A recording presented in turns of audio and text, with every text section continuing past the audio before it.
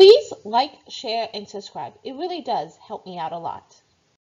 Welcome to Saint of the Day. Today is November the 14th, and today's saint is Saint Lorcan Ua Tuathail.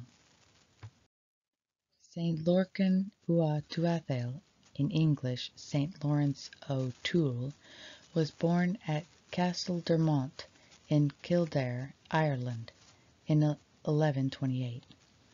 He was the son of King Muirchertach Ua Tuathail of the Ua Meragdag.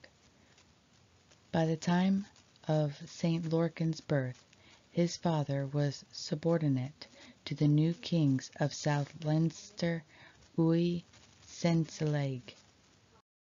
When St. Lorcan was only ten, he was sent to Diarmait, pictured here, the king of Ua Sensileg, as a hostage in his father's place where he was imprisoned for two years, where he almost died.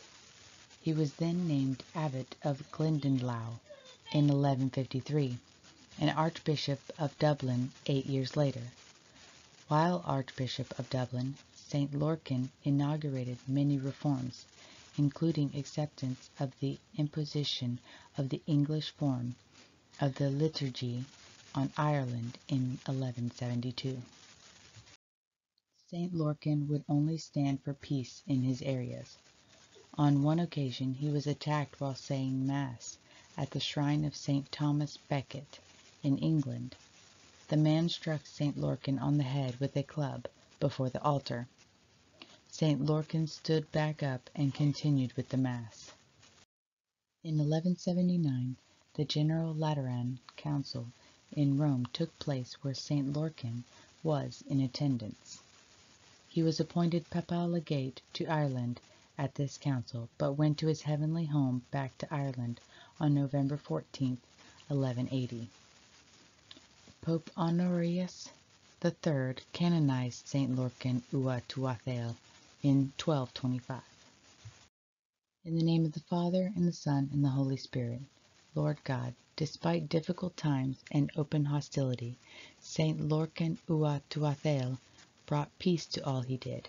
Through the intercession of your bishop, St. Lorcan Ua Tuathail, may we live the command that your Son Jesus gave us, to live in peace and love with one another.